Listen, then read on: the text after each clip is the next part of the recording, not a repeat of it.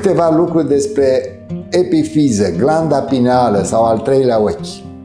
Este structura cu care noi putem transforma vibrația în materie, în neurosecreții, neurohormoni.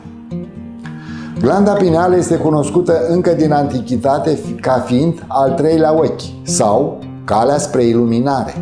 Toate culturile străvechi, babiloniană, greacă, budistă, hindusă, egipteană, etc., cunoșteau importanța glandei pineale.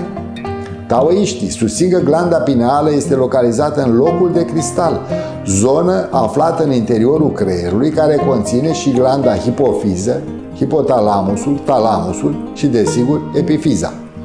Ei au convingerea că atunci când respectivele glande funcționează optim, substanțele produse de ele, hormonii și neurotransmițătorii, susțin expansiunea conștiinței și permit accesul la lumile paralele paradisiace, care există dincolo de realitatea planului fizic. Când al treilea ochi se deschide, toate ființa se conectează la univers, dincolo de interpretarea pe care logica o dă lumii înconjurătoare și interioare.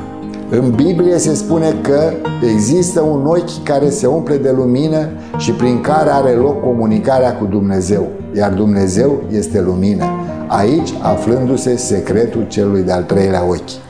Când glanda pineală este activată, omul are acces la o stare de beatitudine și iluminare. Ea acționează ca regulator de regulatori, și asta în afară de efectele sale documentate asupra funcției de reproducere, de creștere, de reglarea temperaturii corpului, a tensiunii arteriale, a activității motorii, a somnului, a creșterii tumorale, a stărilor sufletești, furie, mânie, supărare, etc., a sistemului imunitar, fiind unul dintre factorii care determină longevitatea. Pare a fi ceasul biologic al vieții care deține secretul longevității. Reglează ritmul circadian, adică ritmul somnului și al trezirii timp de 24 de ore, precum și nivelul de stres, dar și performanța fizică. Este responsabilă pentru secreția unor hormoni, pe cum epitalamina, molecula care prelungește viața, care stimulează producerea de serotonină, hormonul fericirii și melatonină, hormonul întunericului, dar și al tinereții și longevității, substanțe care acționează ca neurotransmițători, neuromodulatori. Adrenaloglomerulotropina este o altă substanță produsă de glanda pineală care ajută activarea sistemului endocrin, cum ar fi glandele suprarenale, care la rândul lor încep să producă hormoni, aldosteronul de exemplu. Penilamina este implicată în reglarea nivelului de glucoză din sânge. Pinolina, deosebit de importantă ca funcție. Și 5-metoxilat indolamina, care este bioluminiscentă. Dacă glanda pineală nu funcționează sau funcționează minimal, suntem orbi față de dimensiunile spirituale ale vieții. Am putea spune că suntem tăiați de la mesajele pe care în mod normal le primim din lumile spirituale pline de dragoste și vindecare. Există așadar mai multe substanțe pe care glanda pineală le sintetizează și le eliberează fie în sânge, fie în lichidul cefaloreahidian, substanțe cu ajutorul cărora glanda pineală comandă și coordonează activitatea sistemului nervos și a sistemului endocrin. Epifiza este organul care transformă vibrația în materie, reprezentată de hormonii epifizari. Odată ce glanda epifizei este activată, poate să acceseze dimensiuni mai înalte ale acestui spațiu și timp. Glanda pineală poate să recepționeze frecvențe, care sunt informații superluminice, și să traducă aceste frecvențe în imagini cu sens în această realitate tridimensională. Acest fapt se realizează prin activarea, deschiderea celui de-al treilea ochi și are ca substrat material neurosecrețiile sintetizate de glanda pineală.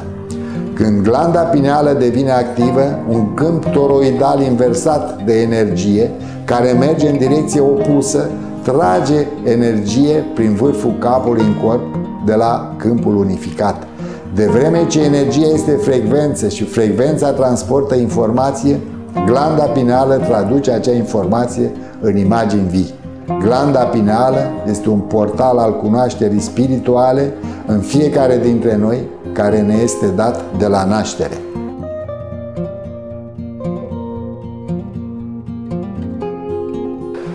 Pentru a putea să reluăm conectarea și comunicarea cu natura, este obligatoriu să ne reconectăm mai întâi la natură.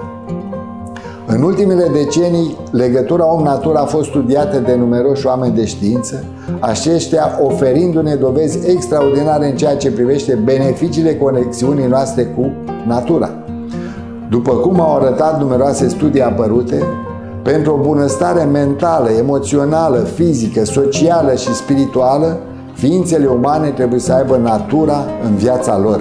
Oamenii au supraviețuit sute de mii de ani coexistând cod la cod cu toate celelalte creaturi ale acestei planete.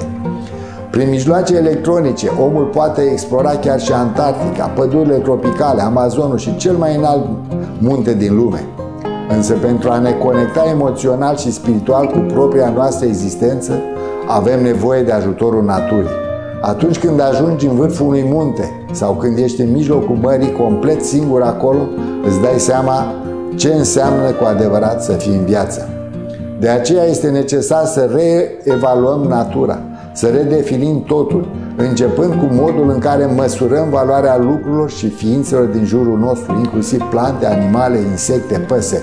Este necesar să ne dezvoltăm conexiunea cu toate ființele, să trăim în armonie cu toate vietățile și să avem o legătură profundă cu ele. Prin comportament etic față de toate celelalte creaturi, intrăm într-o relație spirituală cu Universul. După cum se cunoaște, toate formele de viață, inclusiv plantele, cresc, se mulțesc, comunică și au anumite forme de inteligență. De asemenea, fiecare entitate are în jurul său un câmp energetic, emite vibrații și energie, iar starea noastră de liniște și de echilibru depinde și de interacțiunea pe care o avem cu energia celorlalte viețuitoare.